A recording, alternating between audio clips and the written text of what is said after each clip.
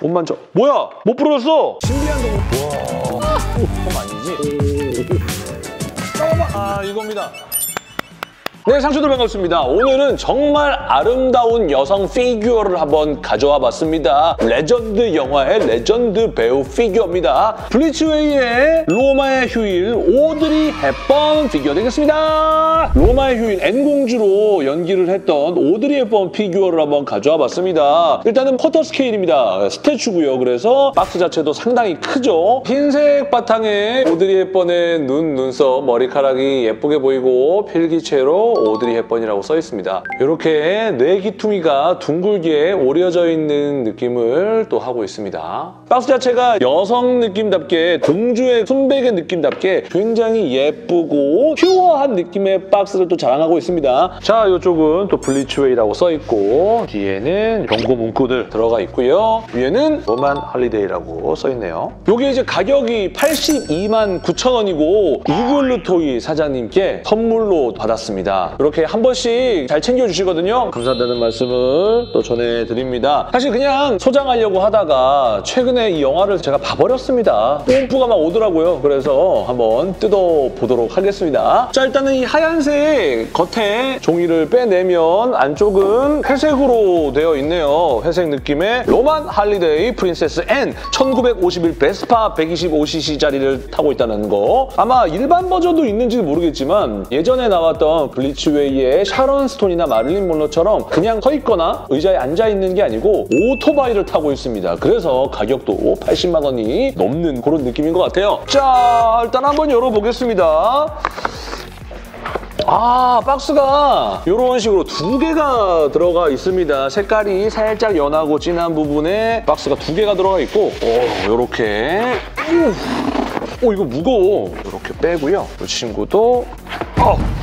어, 요건 좀 가벼워. 자, 요렇게 박스가 두 개가 되어 있고요. 베이스부터 한번 보여드려야 될 것 같은데 베이스가 이 두 개 중에 어디에 있는지는 모르겠습니다. 이게 오토바이고 요게 피규어인 것 같긴 한데 일단은 피규어부터 보여드리도록 하겠습니다. 조금 무거운 거 보니까 베이스도 여기 들지 않았을까라는 생각을 해봅니다. 사실 이 영화가 1955년 영화예요. 흑백 영화기도 하고 그래서 제가 최근에 이거 봤는데 와 그냥 뭐 오드리 헵번이 참 너무 예쁘다. 그레고리 펙이 사실 기자인데 처음엔 좀 양아치였는데 뒤에는 멋있게 나오더라고요. 자, 한번 열어보겠습니다. 아, 이걸 먼저 뜯으면 안 됐다. 보시면 피규어가 이렇게 오토바이를 타고 있는 포즈여서 세워서는 못 보여드리고 오토바이부터 열어야 될 것 같습니다. 아, 제 예상이 맞았습니다. 피규어들은 박스가 이 베이스 때문에 무거웠던 느낌이고요. 돌바닥이 굉장히 평범한 것 같지만 그래도 엣지 있게 이렇게 지금 되어 있어서 예쁩니다. 어디가 앞이? 아, 여기가 앞인 것 같아요. 그래서 Roman Holiday, 로마의 휴일 앞에 써 있고 이쪽에는 오드리 헵번. 베이스 자체가 조금 끈적입니다. 살짝 끈적이는 느낌. 이거 뭐 내가 너무 오랫동안 안 꺼내서 이거 뭐야? 물기가 있어요? 우와!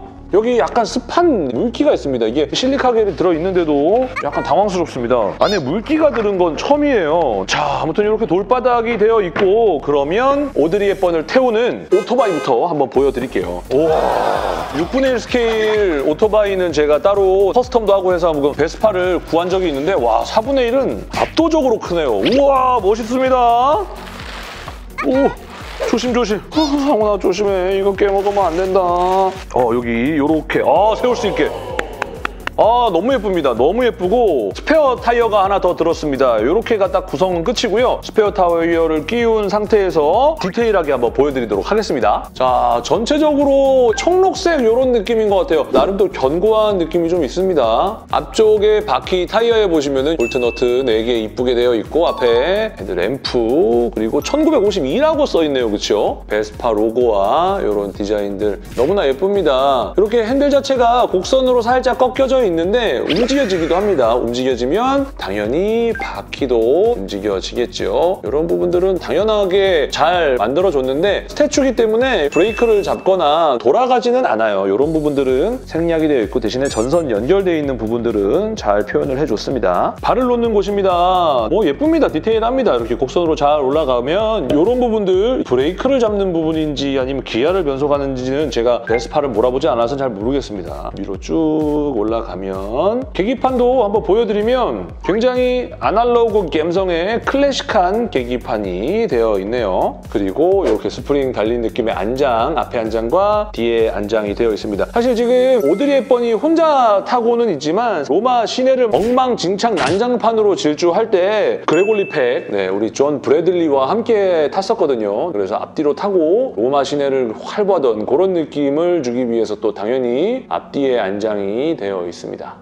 뒤쪽을 보시면 여기 로마 6 V87 번호판이 되어 있고 램프들 이게 사실 불이 들어왔으면 진짜 더할 나위 없이 좋을 텐데 불은 따로 안 들어오는 것 같고 뒤쪽 이렇게 스페어 타이어까지 되어 있네요. 이쪽이 이제 뭐 엔진이 들어가 있는 것 같습니다. 이거 오토바이 시동 안 걸릴 때 이걸로 이제 딸딸이 건다 그랬는데 걸어가지고 이거 했던 기억이 있습니다. 그렇죠? 이게 사실 움직여지지는 않아요. 그리고 아까 보여드렸던 이 부분도 움직여지지는 않고 여기서 움직이는 거는 이 친구 하나뿐 뿐입니다. 그래서 여기서는 이 친구만 살짝 뒤로 접혀서 갈 수 있게 그리고 딱 펼쳐서 이렇게 지지대를 할 수 있게 되어 있네요. 여기 뭔가를 수납할 수 있는 그런 느낌인 것 같은데 따로 열리거나 하지는 않는 것 같아요. 열어줬으면 좀 더 좋았을 텐데 그리고 이렇게 앞에 한 장과 뒤에 좌석 사이에 보시면 연료 주유구까지 보이는 모습입니다. 여기에 이제 오늘의 주인공 N 공주님을 열어보도록 하겠습니다. 얘를 돌릴게요. 돌린 상태에서 이런 식으로. 얘를 여기 끼워주는 게 포인트인 것 같은데 어, 아 이렇게 들어가네. 쉽게 들어가네요. 옷 만져. 뭐야? 못 부러졌어. 옷 만져. 아 새끼손가락이 부러졌습니다. 아 어떡해. 아 저기 앞에. 아 어떡해. 여러분 이거 오토바이 혹시나 이제 구입하신 분들 오토바이에 손 집어넣을 때 조심하셔야 될 것 같습니다. 아 이게 좀 쉽게 부러지면 쉽게 부러진 거죠 이 정도면 그지? 내가 그렇게까지 꽉 안 넣은 것 같은데 네. 자 아무튼 순접을 좀 하고 들어가야 될 것 같아요 상훈아 대충 할 거냐?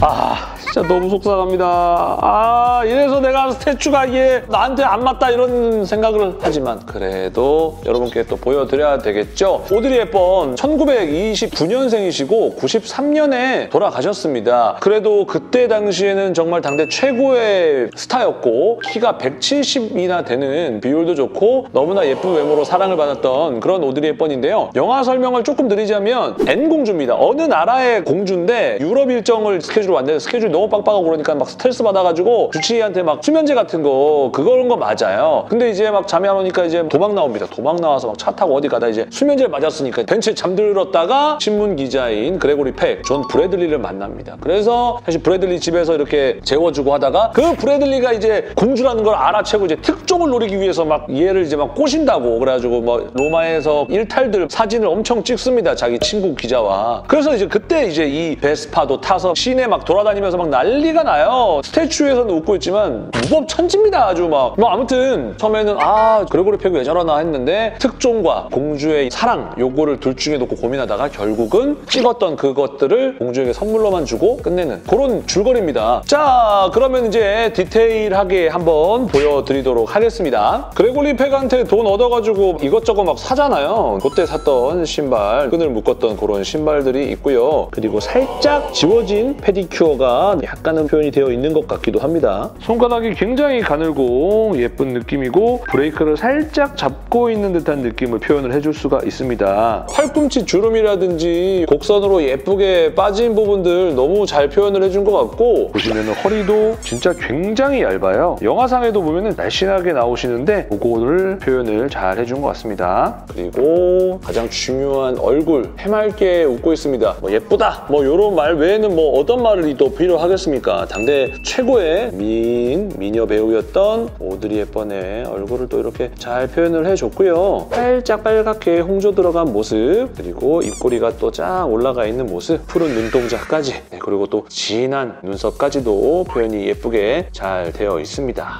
원래 오드리 헵번이 초반에는 머리를 길게 늘어뜨리고 긴 머리를 하고 있는데 미용실에 가서 머리를 굉장히 싹둑 자릅니다. 그 이발사, 네, 그 미용사가 제가 머리를 자르면서도 막 의아해했는데 예쁘게 자르고 나서 반해서 막 데이트 신청도 하고 그러죠. 아, 이거 너무 귀엽습니다. 짧은 머리. 뒷머리도 이런 식으로 머리를 아주 예쁘게 잘 했습니다. 스카프는 조금 조정을 해줘야 될 것 같아요. 너무 나비 넥타이처럼 되어 있습니다. 영화상에 보면은 이 스카프 자체가 조금 얇게 되어 있기도 하고 목에 두르기도 하지만 넥타이처럼 셔츠 밑으로 매기도 하거든요. 자 그리고 보니까 이 스카프가 이렇게 풀러도 되는 게 아니고 이렇게 그냥 떨어집니다. 여기 자석으로 되어 있어요. 그래서 이런 식으로 자석으로 붙였다 떨어졌다가 되게 됩니다. 그래서 요거는 셔츠 바깥쪽으로 이렇게 조금 세팅을 해도 좋을 것 같은데 조금 짧아요. 아, 요건 좀 아쉽네요. 이게 살짝 좀 더 길어지진 않겠죠? 요게 약간 뒤쪽이 이렇게 스카프를 하면 더 예쁜데 약간 셔츠에다가 이렇게 붙여가지고 해도 괜찮을 것 같은데요?